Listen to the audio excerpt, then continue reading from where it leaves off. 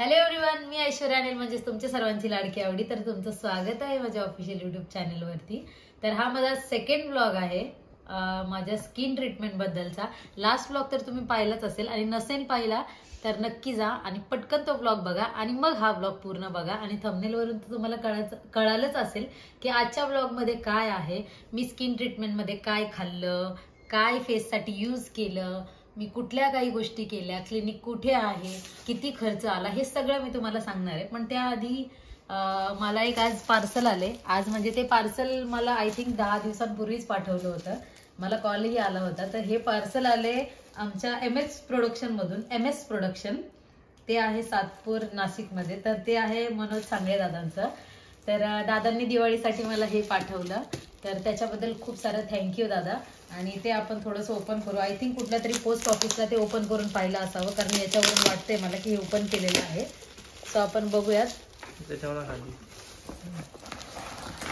हो हे तर भाऊबीजेचं ताट आले मला दादांकडून. दादा थँक्यू पण मी भाऊबीज म्हणून तुम्हाला काही गिफ्ट पाठवणार नाहीये. तर मी स्वतः येईल लवकरच नाशिकमध्ये. तर आपली भेट होईलच. पण हे खूप सुंदर असं गिफ्ट पाठवले मला त्यांनी. एक मिनिट आपण ओपन करून बघूयात. सुंदर. Happy Diwali happy Diwali to you also खूप सुंदर आहे.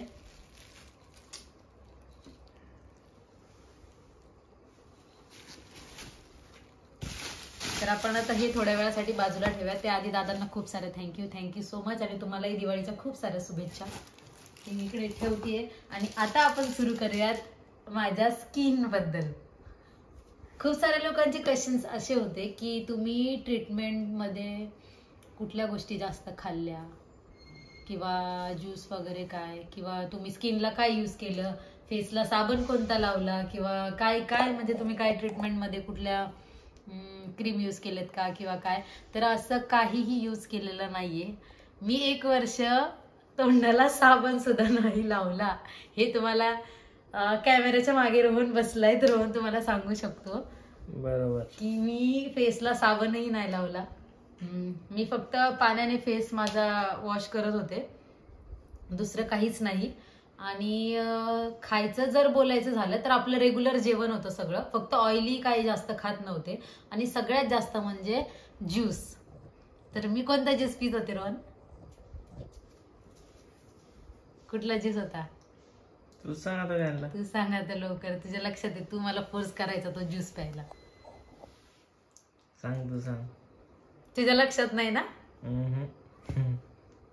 मोसंबी ज्यूस संत्री ज्यूस आणि नारळ पाणी.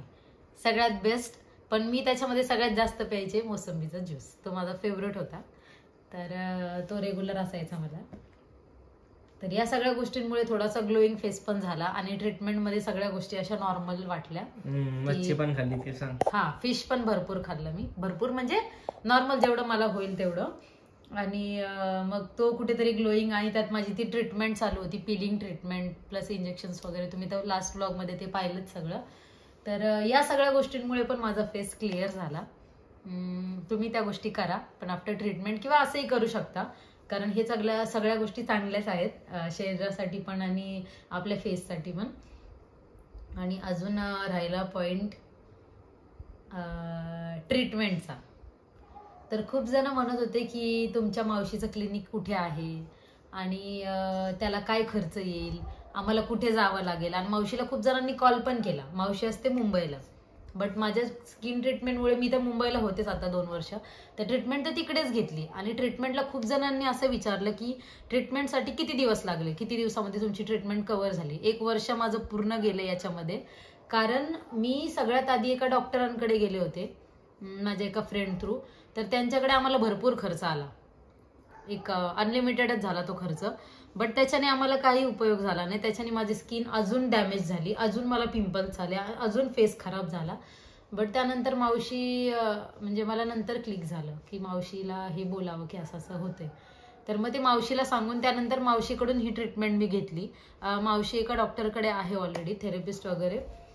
डर्मटॉलॉजिस्ट समथिंग समथिंग असं काय काय काय काय करते ती. तर ती त्या डॉक्टरकडे आहे.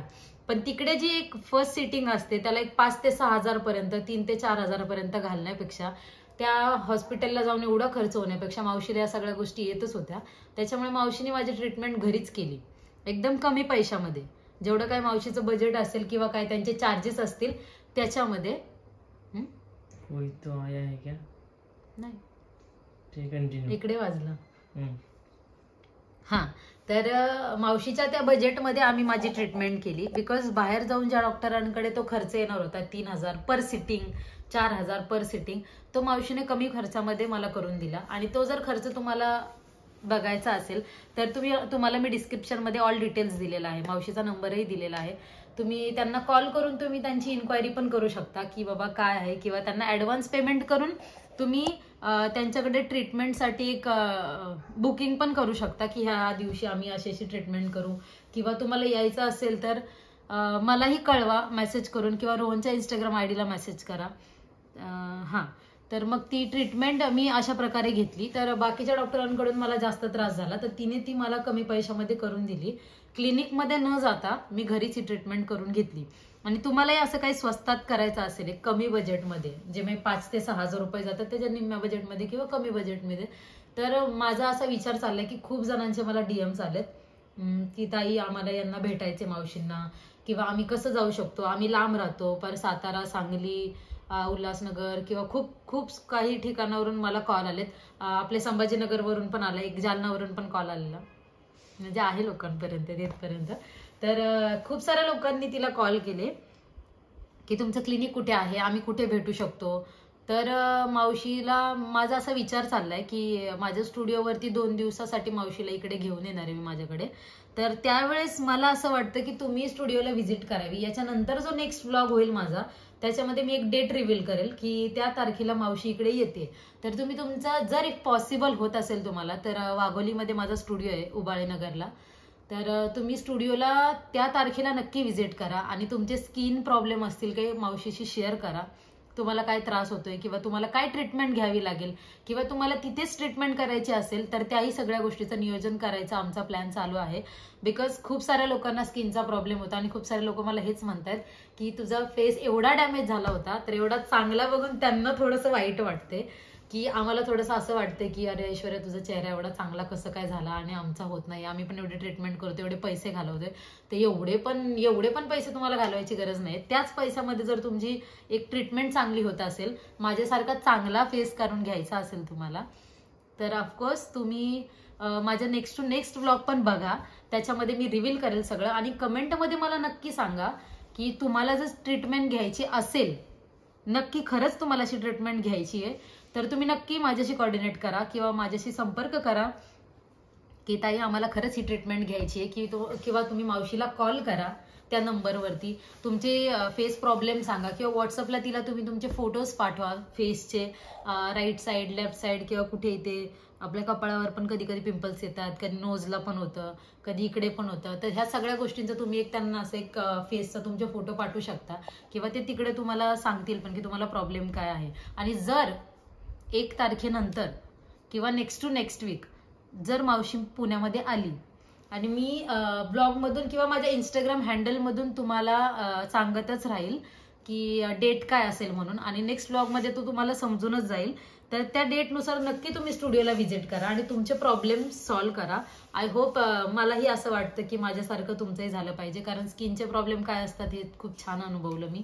आणि खूपच छान अनुभवलं कारण खूप त्रास झाला आणि खूप इरिटेट झालं तुम्ही लास्ट ब्लॉगमध्ये पाहिलं. आणि या सगळ्या गोष्टींपासून आता मी खूप छान आहे. आणि तरी माझी ट्रीटमेंट अजून चालूच आहे. की अजून पण मला असं वाटतं की अजून थोडंसं ग्लो आला पाहिजे. पण येईल आणि कंटिन्यू तुम्ही माझ्यासोबत अशा माझ्या ब्लॉगमध्ये राहा. नेक्स्ट ब्लॉग लवकरच अपलोड करेल. डेट रिव्हील लवकरच होईल. सो स्टे कनेक्टेड आणि खूप सारं प्रेम तुम्हाला. स्वतःची काळजी घ्या. आणि थँक्यू